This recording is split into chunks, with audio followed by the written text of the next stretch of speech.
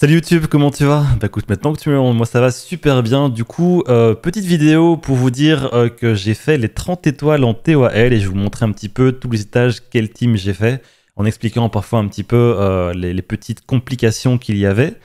j'ai honnêtement suivi les conseils de XX qu'il hein, donc le rang 1 actuel, donc qui a, qui a fait, qui a fait la TOA en 30 étoiles en tout premier, donc il l'a fait, il l'a fait genre en quelques heures. Et du coup, j'ai été un petit peu regarder sa vidéo YouTube. Hein, je mettrai euh, ça en, description, euh, sa chaîne et sa vidéo YouTube. Euh, et je me suis inspiré de pas mal de teams pour faire quelques étages. même, même si j'avais commencé seul, à la fin, j'ai vraiment dû m'inspirer de ces teams parce que j'y arrivais vraiment pas. Et en s'inspirant de ces teams, premier coup, deuxième coup, maximum troisième coup, je pense, euh, donc ça s'est vraiment très très très bien passé. Mais du coup, ce qui est cool, c'est que maintenant j'ai 30 étoiles sur le profil et ça fait, bah, ça fait vachement plaisir forcément. Euh, parce que là, on a quand même un sacré profil. Il me faudra plus que le Légende Arène, RTA et Special League.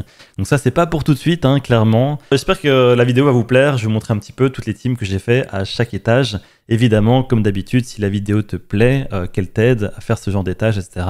N'hésite vraiment pas à t'abonner hein, ou à mettre les petits commentaires, référencement, tout ça, tu connais et euh, bonne vidéo. Pour le premier étage, j'ai utilisé cette team-ci. En gros, c'est une compo où, euh, en fait, en face, ça ne joue absolument jamais.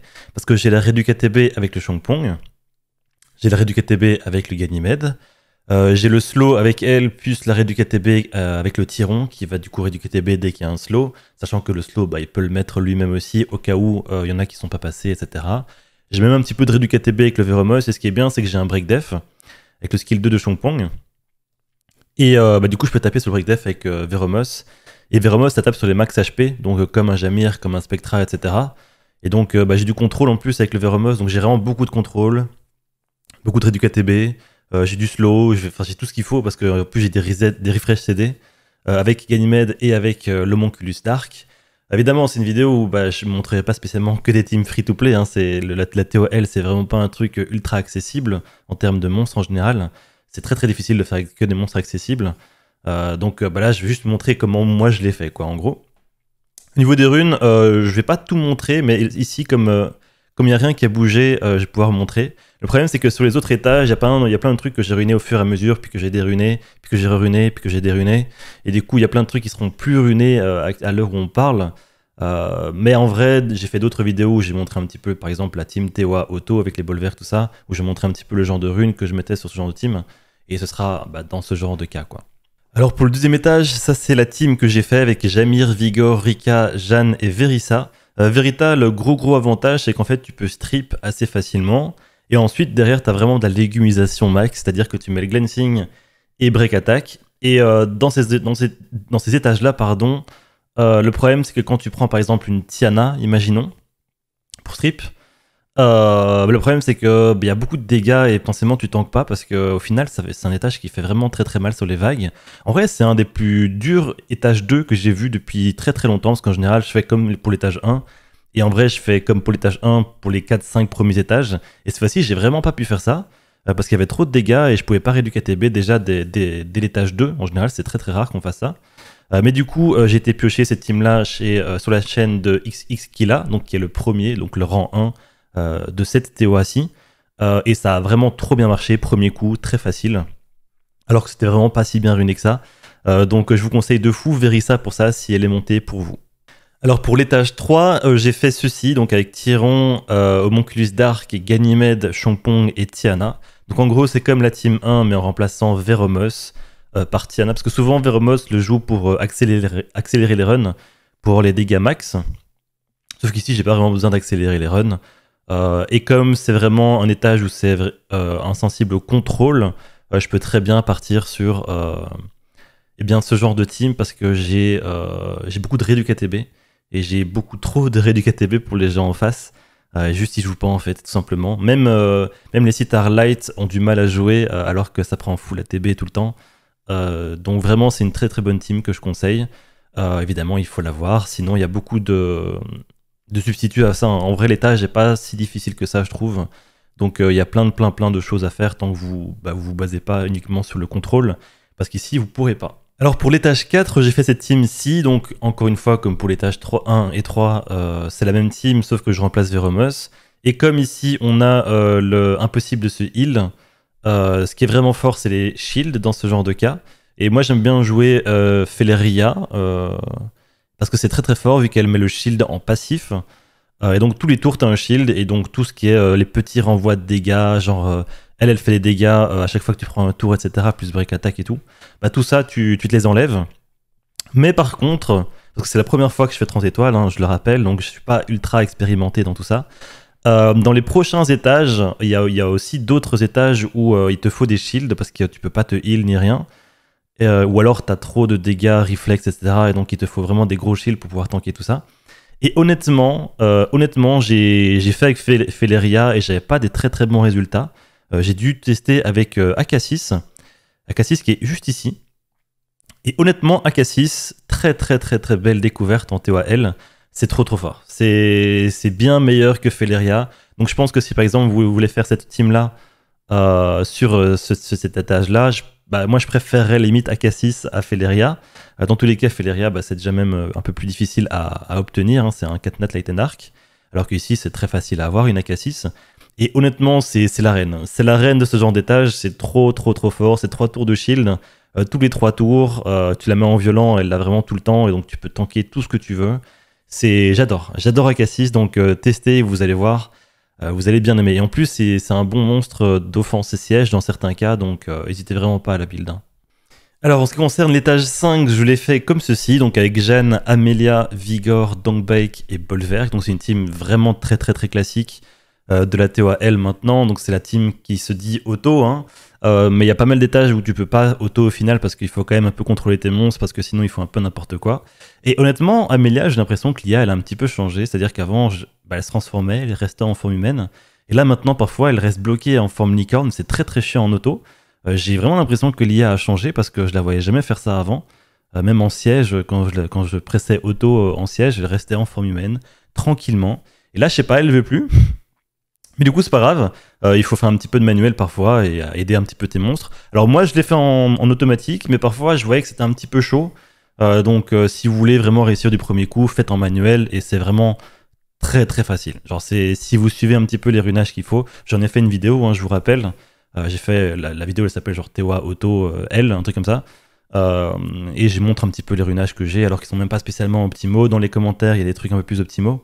Euh, mais du coup, c'est vraiment très très très très fort. Et je, bah, je recommande hein, si vous avez les monstres. Sixième étage, c'est aussi un étage que j'ai montré dans la vidéo TOL Auto, hein, parce que celui avec le Joséphine, en fait, je me, je me, je me rends compte qu'en fait, j'en ai parlé dans, dans cette vidéo-là. Et c'est justement dans cette vidéo-là que je montre que je fais l'étage en full auto. Euh, par contre, celui-là, il doit être en, fait en manuel, il était beaucoup plus difficile. D'ailleurs, dans la vidéo, j'en parle, je le fais en manuel, euh, parce que ça peut vraiment beaucoup trop c'est évidemment pas cette team-là, c'est avec, avec Vigor ici. C'est avec euh, Vigor ici. Hop, pardon. Mais avec Vigor, ça passe très très bien. En vrai, je suis presque sûr qu'avec euh, la AK6 ici, ça serait très très très fort aussi.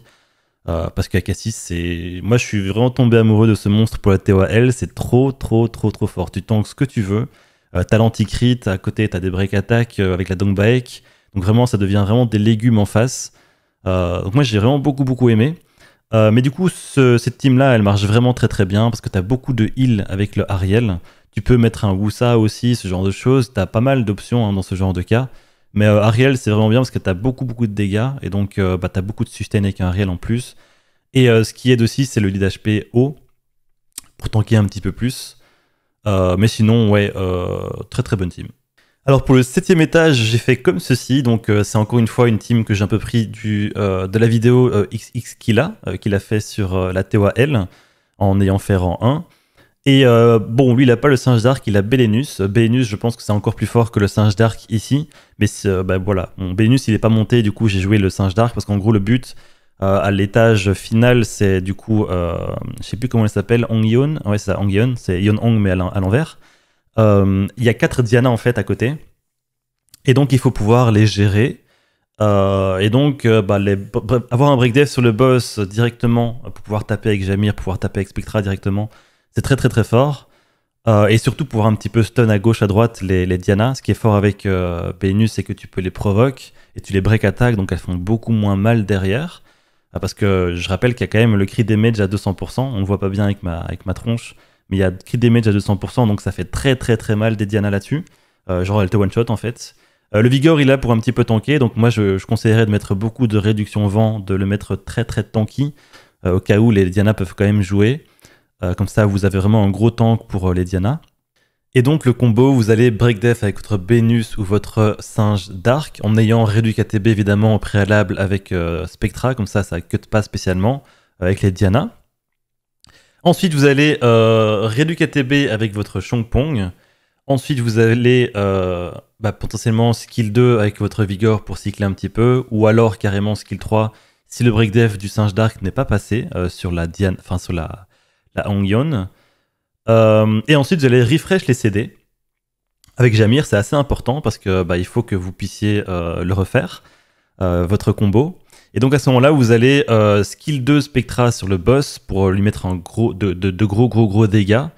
et ensuite, vous allez skill 2 avec Jamir sur le même tour, parce que vous n'aurez plus votre skill 3 forcément. avec votre, avec votre Shangpong, pardon, vous allez encore une fois skill 3. Et donc à partir de ce combo-là, limite le boss il sera déjà à 40% de CHP en ayant fait un skill 2 et un skill 2 de, Jamir. Euh, évidemment, bah là il faut un tout petit peu tanker euh, avec des Diana qui sont censés être un petit peu contrôlés, etc. Euh, récupérer le skill 2 de Spectra ou de Jamir et vous serez, vous serez Gucci. honnêtement, moi ça, c'est très très bien passé du premier coup. Donc je conseille cette team, elle est très très très forte. Et d'ailleurs, bah, je pense que je vais la jouer beaucoup plus souvent parce que j'ai vraiment bien aimé jouer Jamir Spectra. Parce que vraiment, le boss, tu le défonces. Euh, genre, il, vraiment, il joue pas beaucoup. Essayez vraiment d'avoir quand même des stats offensives dessus. Hein, sur votre Spectra et votre Jamir. Comme ça, vous faites des gros dégâts parce que c'est par rapport au HP euh, de l'ennemi. C'est un skill qui tape sur les HP de l'ennemi. Hein, donc, forcément, c'est pas par rapport à ton attaque ni rien. Enfin, un tout petit peu, mais c'est pas le gros ratio.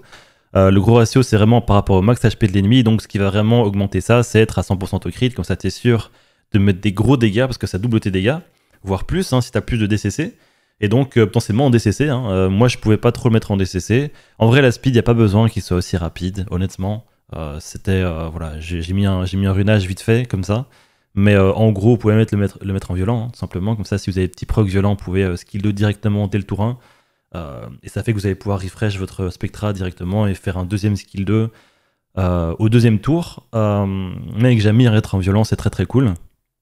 Et en plus, bah, avec Jamir, vous aurez le break attack assuré en AOE vu que Spectra le met également.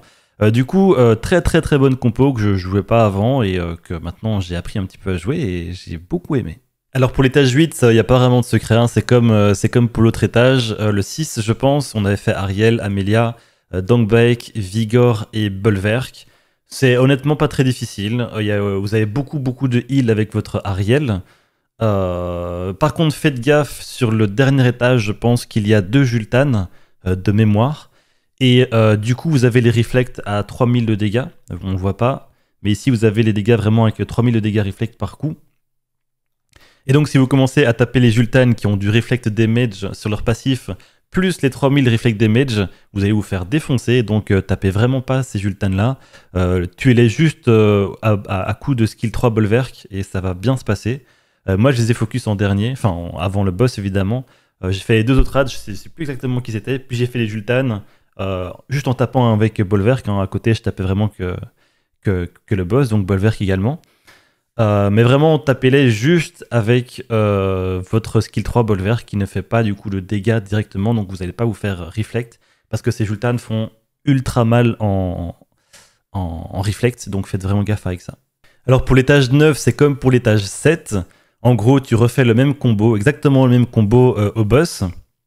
Il faut évidemment pouvoir break def le Artamiel parce que sinon c'est chiant, tu pourras pas le taper directement. Mais euh, du coup, si tu fais ce combo là, c'est très très très très fort. Euh, tu auras deux fois le rédu KTB avec Shangpong. tu peux évidemment mettre un Ganymede ou autre, hein, c'est tout aussi bien pour le rédu KTB. Dans tous les cas, vraiment, le boss il se fait défoncer par Jamir et par Spectra. Et vous avez un peu plus de sustain avec Ariel parce que, bah, parce que ça fait quand même mal, hein, les revenge de, d'Artamiel, donc euh, faites vraiment gaffe avec ça. Et une fois qu'il est break def, il fera beaucoup moins de dégâts. Et vous, vous avez bah, 200% de crit damage, donc euh, vous allez le défoncer, le boss. Euh, donc je conseille vraiment cette team-là. Évidemment, si vous n'avez pas le singe dark, parce qu'il y a beaucoup de gens qui l'auront pas, c'est Belenus en général qui est utilisé. En tout cas, dans la vidéo de XX qu'il a, c'est Belenus qui l'a joué. Et ça a très très bien marché pour lui. Moi, j'ai joué le singe dark parce qu'encore une fois, je le répète, mon Benus n'est pas monté tout simplement. L'étage 10, qui pour moi a été le plus dur. Honnêtement, c'est celui où j'ai le plus galéré parce que le boss, le, deuxième boss fait vraiment très très mal. Il a du crit damage à 200%, donc il faut quand même pouvoir le tanker. la première vague pour moi est très très simple, vous pouvez limite la, jouer en auto. la, la, troisième vague, donc la, meuf, est très très simple aussi, je trouve.